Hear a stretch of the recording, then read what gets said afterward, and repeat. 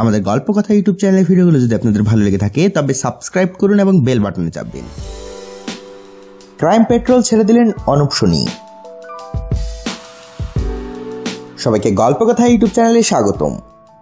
জনপ্রিয় TV show crime petrol ছেড়ে দিলেন অনুপ সোনি। দীর্ঘ আট বছর ধরে ক্রাইম পেট্রোল অনুষ্ঠানটির সঞ্চালক ছিলেন তিনি। তার ক্রাইম পেট্রোল শো ছেড়ে দেওয়ার খবরের সত্যতা স্বীকার করে নিয়ে অনুপ সোনি নিজেই জানিয়েছেন হ্যাঁ আমি ক্রাইম পেট্রোল ছেড়ে দিচ্ছি। তবে হঠাৎ তিনি কেন ক্রাইম পেট্রোল ছেড়ে দিচ্ছেন? এ প্রশ্নের উত্তরে অনুপ বলেন, দীর্ঘ আট বছর, অনেকটা সময়। খুব সুন্দরভাবে আমি এই যাত্রার সঙ্গী ছিলাম। আসলে আমি অভিনয়কে ভীষণভাবে মিস করছিলাম।